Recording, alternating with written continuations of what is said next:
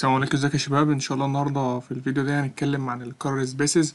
إحنا لحد دلوقتي كل ال color space اللي إحنا استخدمناه هو ال RGB أو ال BGR تمام؟ بس في color space كتير شبه ال HSV LAB والكلام ده كله. فان شاء الله هنوضح النهارده استخدامهم وايه الفرق ما بينهم والكلام ده كله.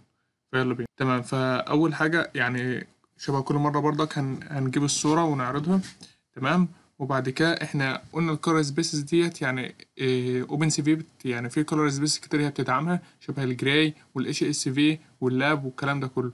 تمام؟ طب وطبعا كل بقى كل مشروع بيختلف عن التاني على حسب أنت استخدامك لل لدرجة الألوان أو ال color space اللي أنت هتستخدمه أو يعني نوع النظام بتاع الألوان اللي أنت هتستخدمه. تمام؟ فيعني مثلا إيه ال gray ديت بيحول لك إيه؟ بيحول لك الصورة بعد ما كانت ملونة أو بألوان بيحولها لأبيض وأسود يعني بعد ما كانت الصورة بالتلاتة channel بيخليها ب channel واحدة بس. تمام؟ مثلا ال color 2 HSV ال HSV دي معناها إيه؟ hue saturation value. تمام؟ hue saturation value.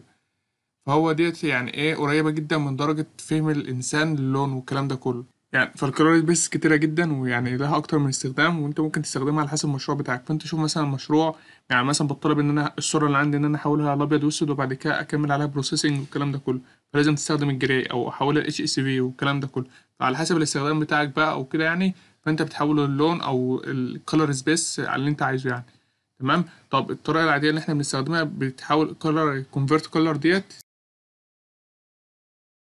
cvtColor ديت بتحول لك الصورة بتدي لها الصورة الأصلية وبعد كده تدي لها أنت عايز تحولها لأنهي واحدة.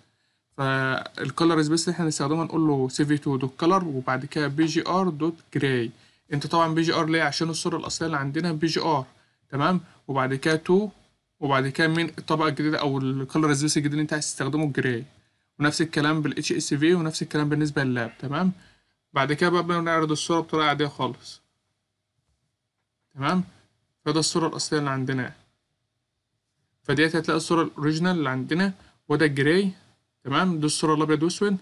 ودي ال V يعني هو بيقول ال V ديت يعني درجة بتبقى قريبة من درجة فهم الإنسان للون. يعني هما عاملينها عشان كده يعني. الإنسان بيشوف الإنسان بيفهم اللون إزاي وهم عاملينها على أساس نفس الكلام كده. تمام؟ وال Lab برضك نفس الكلام قريبة منها برضك فهو كل واحدة لها استخدامها على حسب المشروع وعلى حسب ال application اللي انت هتستخدمه كده تمام؟ فهو ال color spaces لها استخدامات كتيرة. بس يعني لسه كمان إحنا يعني لسه في في البداية والكلام ده كله فخليك أنت بس مركز مع ال BGR تمام؟ وخليك انت شغال عليها. بس لو في مشروع مثلا ولا حاجة تطلب إن أنت تغير ال color space أو تعمل أي حاجة تانية فتمام؟ أنت عارف دلوقتي أنت ممكن إزاي تغير ال color space والكلام ده كله. تمام؟ فبس فهو ده الفيديو كان سريع كده يعني عشان ال color spaces هو مهم جدا ومعقد برضك في نفس الوقت بس يعني استخدامه كبير ويعني ممكن يفرق معاك جامد جدا. بس فهو دي نهاية الفيديو. يا رب يكون عجبكم واستفدتوا منه. ويا ريت لو لسه ما اشتركتش معانا في القناة تنزل تحت وتعمل اشتراك وتفعل الجرس. ولو عجبك الفيديو يا ريت تعمل like وتشيره مع أصحابك. وأشوفكم في الفيديو الجاي إن شاء الله. يلا سلام عليكم.